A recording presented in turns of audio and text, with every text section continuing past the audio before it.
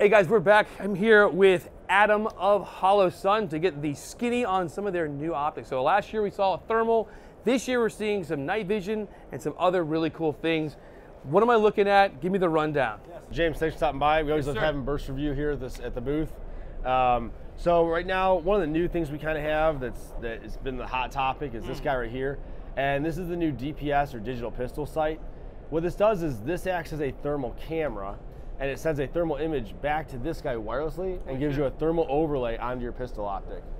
So this is also a white light. I'm not to blind the camera, but it's also a white light as well.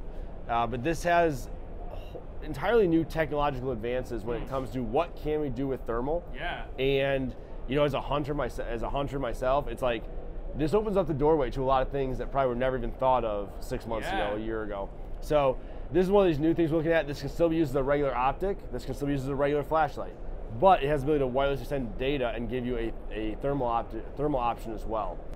What's the what's the range between them? Is it pretty much within any kind of reasonable rifle setup? Yeah, that's what we're looking at right now is what's the maximum distance. Yeah, But right now we're looking at making it where it's a, a reasonable distance of like you know we had on a Raider Flux at the uh, at the range day, Yeah, so you know about about that distance.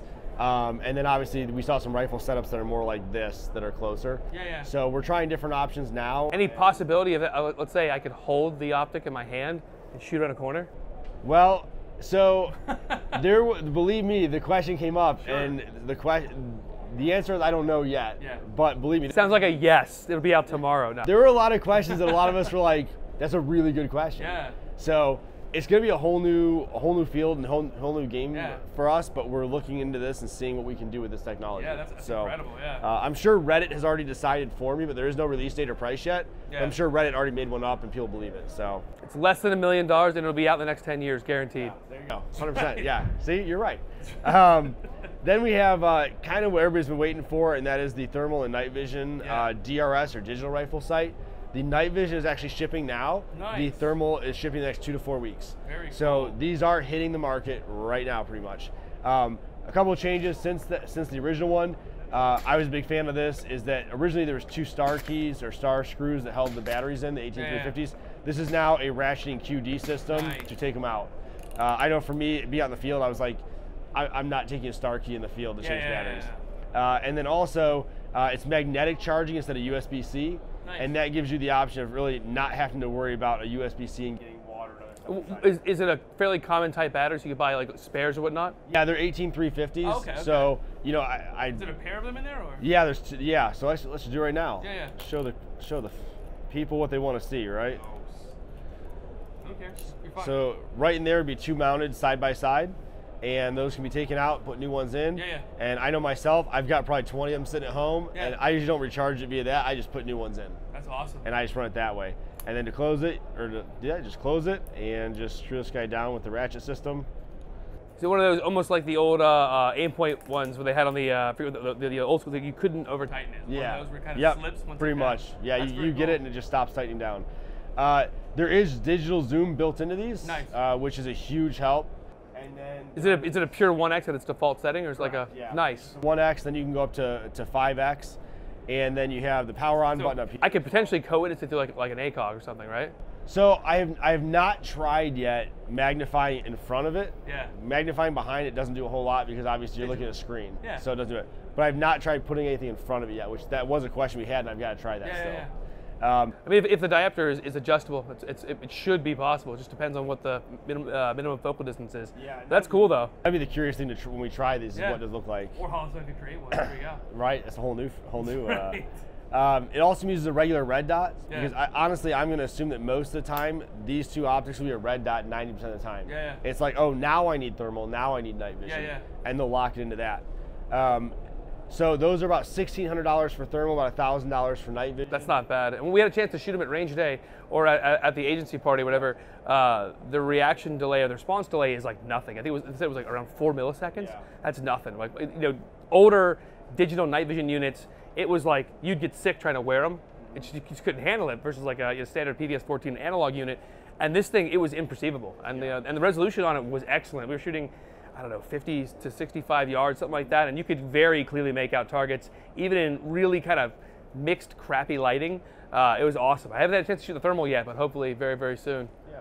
Awesome. So those are those two guys. Uh, again, pretty hitting the market now. We're already on the market. Yeah, yeah. Then we have one that I'm really excited about. this is our new Iris. Uh, this is our new IR laser, IR illuminator, Oh, invisible nice. laser uh, aiming module. And so runs on one CR123A battery. Hmm. And what I really like about this is, for those that don't recall, in the past, I'm going to do a rear view of this thing here. These were much larger. Our, our, Yeah, our were far, fairly large, and sometimes would actually get up into the viewport of your red dot Yes. uh, because they sat up higher. The other thing was if you wanted to change the uh, flood of your IR illuminator, you get a little knob back here, to take your hand kind of off the rail and kind of Yeah, adjust yeah. and then go back.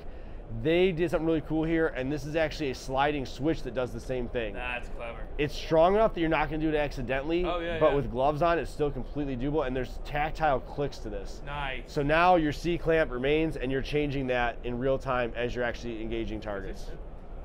Oh yeah, you'd. Oh yeah, you'd never do it in an accident. It takes. I don't Takes know, maybe. force. Yeah, like maybe 20 pounds of pressure. It's, That's awesome. It's enough where even with gloves on, you're not to be like, oops, I just. No, no, never. But if you if you were you know you wanted to do it, you could absolutely do it. Doing it. That's awesome. Um, Pricing, availability. Yeah, about quarter two of this year, about eight hundred dollars. What's what's what's the strength of the IR laser? Uh, the IR laser, those are 0.7, so they're still in the Civ. Yeah, yeah, The IR illuminator will be using the VCSEL technology, so it's significantly stronger than what it appears. yeah, yeah, yeah. And, it, it, and it's focusable too, correct? Yeah, yep. Very so cool. you have all the different options. So you can use it as an indoor light and have it like really, really wide, or a, or a hunting light and have it kind of narrow and far. Yeah. So we, even the current ones we have, like you know, if, if I'm engaging a target further away, I'm usually zeroing it in. So I want a Yeah. tighter beam. If I'm closer, I may be you know wide Yeah, yeah, yeah. open. So yeah, the IR illuminator uh, with that button it's going to allow you to focus everything. Very, very cool. The uh, this is the, also the new version of the SCS, and it's for the P- CZ P10. Yeah, yeah. So one thing we had a lot of people, I have a CZ and I want. So now you have this guy. For those that don't know about these optics, there is no external battery; it's an internal battery Hmm. charged by a solar panel in the back. Flip that guy up so we can see, and that charges the optic itself. Uh, even a couple hours of, of time in the sun or time in light gives you months of runtime. Oh wow. Uh, and the other reality is these are made specific for each gun. So if you have a Glock MOS, you get the MOS version. The reason is these sit without a plate directly on the gun. Your iron Hell yeah. witness. That's so awesome. even if this goes down, you know, you survived the zombie apocalypse, which all your fans would do because they're awesome. Hell yeah. And somehow there's no light because the zombie apocalypse. Your iron's still co-witness. Nice. So you still have that backup if you need it. Very Uh, single button press design, so that little button back there, that real small uh, button, that does Oh, everything yeah. from turn it off to change your reticle. Yeah, yeah.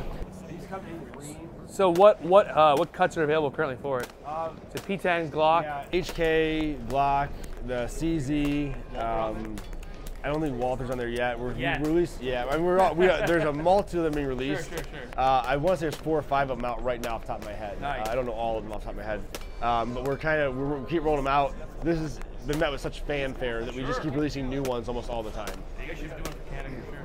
Yeah, and I I, uh, I think there was a demo unit of one of those at one point. I don't know if it's hit out yet, but fly off. oh my gosh, don't they? Nutty, yeah. Cool gun. Well, awesome. I appreciate it. Thank you so much, you. Adam. It's a, it's a pleasure as always. Stay tuned for continued coverage of SHOT Show 2024. To make sure you don't miss anything, be sure to like, comment, and subscribe for more burst reviews.